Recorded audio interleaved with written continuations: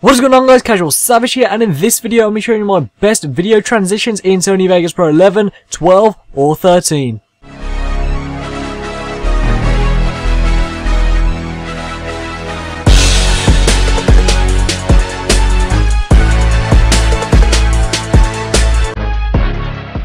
Before I get into this video, if you'd like to request a tutorial in Sony Vegas Pro 11, 12 or 13, be sure to leave in the comments below, ask me on Skype, ask me on Twitter, ask me on Snapchat, ask me wherever you like, and I'll be sure to make the video for you as soon as I can. So these are my personal options of the best transitions, some of you may disagree, some of you may agree, however, I'm just here to help you, and hopefully you enjoy the video.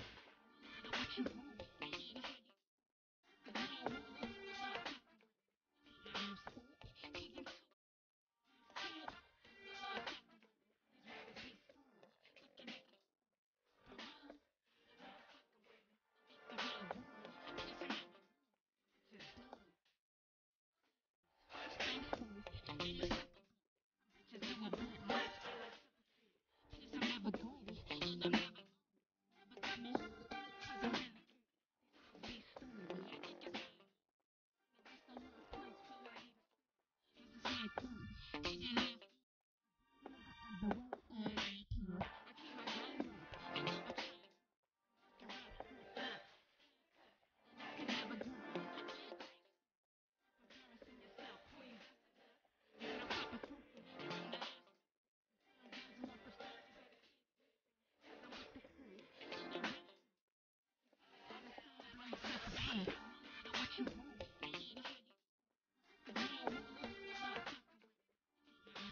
So yeah, that is it for this video. Hopefully it has helped you and hopefully it's given you some useful transitions that you may use in the future. Now you'll notice I used the first one as an example. It said 3D blinds then colon spin.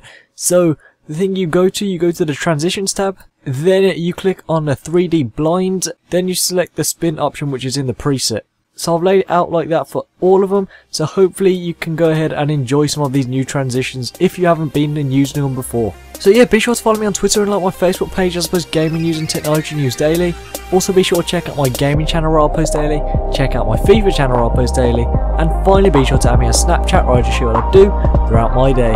So yeah, it's been Casual Savage here, thank you so much for watching, please subscribe, rate, and peace.